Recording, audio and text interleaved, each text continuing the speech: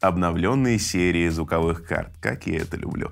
Друзья, у нас с вами сегодня двойной обзор сразу на два аудиоинтерфейса. Это старший братик Presonus 26C и младшая сестричка 24C. Всем привет! Вы находитесь на канале «Давай запишем», где мы с вами говорим о про аудио.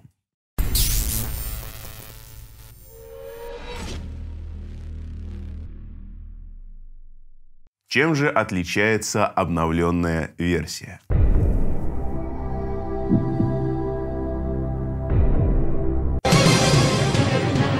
Нет, друзья, вы не угадали. Она не отличается ничем, ну, кроме такого элегантного и политкорректного черного цвета. Хотя на 26-й карточке все же есть небольшое отличие. Оно находится у нас сзади. Здесь мы имеем USB Type-C вместо Type-B, э, который, собственно, можно сказать, уже стал стандартным. Я имею в виду Type-C. Теперь немножко о том, какие возможности у нас появляются при покупке той или иной карты.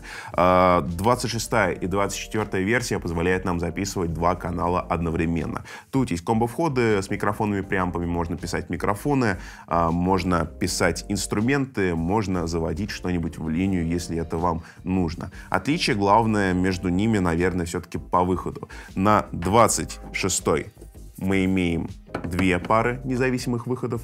И на 24 разъемами такими мы имеем одну пару. С помощью провода Type-C на Type-C мы подключили э, карту компьютеру и теперь пишем весь звук э, на нее, собственно, с помощью ее преампов и пользуемся нашим AC-T2 конденсаторным микрофоном. Почему я, кстати, сказал именно, что Type-C на Type-C? Потому что в комплекте идет сразу два провода. Первый обычный Type-C на Type-C, второй Type-C на Type-A, если у вас Type-C в компьютере нет. Довольно удобно. Принципе, сейчас вся запись дальше в ролике будет идти на 24-ю карту. Почему мы пишем на 24-ю, а не на 26-ю? В принципе, различий между ними никаких нет, кроме преампов. 26-я выдает на 20 дБ больше, чем 24. 24 выдает 50 дБ, 26-я выдает 70 дБ. Поэтому, ну, для чистоты эксперимента мы решили записать на 24 потому что на 26 у вас в любом случае будет лучше звук. Давайте посмотрим по-быстрому, что у них вообще есть, э, ну, по внешнему виду. Как я уже сказал, это по два комбо-входа э, для каждой карты. Также у нас есть все необходимые индикации для удобной работы. По управлению все вполне стандартно. Усиление первого-второго канала, усиление для наушников э, и, конечно же, громкость для мониторов. На 24 карте мы с вами имеем регулировку для задачи соотношения баланса вот этого при э, мониторинга с нулевой задержкой э, звука, который приходит к вам в карту, например, с микрофона, к звуку, который звучит у вас в компьютере. На 26-й карте этой регулировки нет, и на самом деле это довольно странно для меня, вот, но вместо нее там появилась кнопочка, на которой написано MON. Она активирует тот же самый мониторинг без какой-либо задержки. Задняя сторона будет интересна нам MIDI интерфейсом. Вход и выход под MIDI присутствуют и на 26 и на 24 карте. Ну и, конечно же, выход под наушники на задней стороне. Ну, собственно, Presonus. Presonus никогда не меняется. Если возвращаться к различиям и говорить о них подробнее, то э, на 26-й версии у нас появились, как я уже сказал, кнопочки. Значит, нас интересует АБ, и кнопка, на которой написано MON. А B — это такая фишка, она скорее диджейская, наверное, для сравнения двух разных ну, источников, треков и так далее на тихом контроле, то есть в наушниках. Нажимая эту кнопку, вы можете попеременно переключаться между двумя треками, ну, например, которые сводите в том же тракторе. Это действительно очень круто, и это должно упростить жизнь диск-жокеям. А, поем дальше. Кнопочка MON. Она относится к мониторингу. Здесь как раз она активирует этот мониторинг без какой-либо задержки. Опять же, вот для меня вопрос, почему нету крутилки соотношения. Странно, но вот как-то так. По традиции давайте разберемся с драйверами, подключим одну из карт. Ну, собственно, 24 у нас уже подключена. Зайдем в рабочую станцию и посмотрим, ну, на драйвер, на задержку и на всякое разное, что для нас приготовит этот аудиоинтерфейс. Чтобы начать работать с аудиоинтерфейсом от Presonus, заходим на их официальный сайт и скачиваем Universal Control. Это универсальная контрольная панель, которая подходит э, к большинству их звуковых карт. Устанавливаем, перезагружаем, и у нас должен вот такой появиться драйвер, который, собственно, нам и нужен. Э, давайте посмотрим на роутинг. Ничего экстраординарного. Входы, выходы по два и там, и там. Так, теперь на контрольную панель. Я ее заранее открыл. Вот так она выглядит. Здесь можно сменить частоту дискретизации, здесь можно задать э, синхронизацию цифровую, если это нужно. Здесь можно изменить размер буфера. Сейчас он у нас максимальный. И есть функция loopback, она же закольцовка, чтобы можно было выводить либо в эфир, либо на запись вашего видео звук того, что у вас происходит на компьютере. Это может быть довольно полезным. Сейчас давайте сделаем небольшую остановку и посмотрим на задержку, э, которая возникает при различных значениях буфера.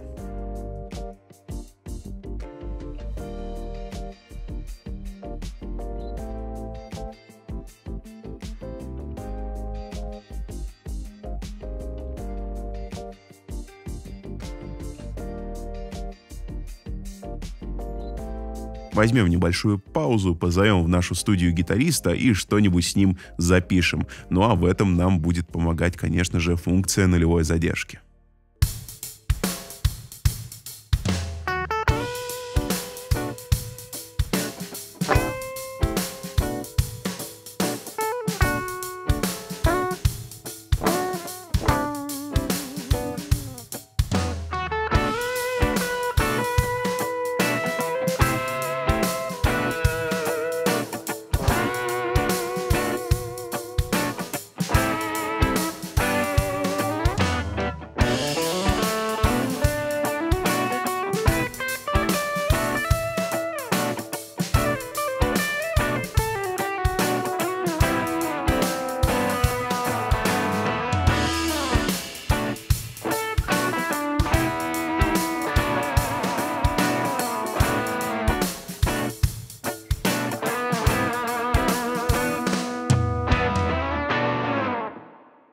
А завершить наш сегодняшний ролик я вам предлагаю вокальным демо. Давайте позовем вокалиста и попросим его нам помочь с тестом преампов этой карты. Сладко, я к тебе тянулся сладко, Как в далеком чистом детстве Быть хотел самим собой гадко. Только сердцу стало гадко. От любви спасаться бегством. Разве это рай земной? Боль и взрыв. И небо пополам на взрыв. И я кричу себе но сердце шепчет нет, нет. Небо забираю с собой, где бы ни был без тебя и с тобой. Только знай, что нет пути дороги назад, никто не ответит,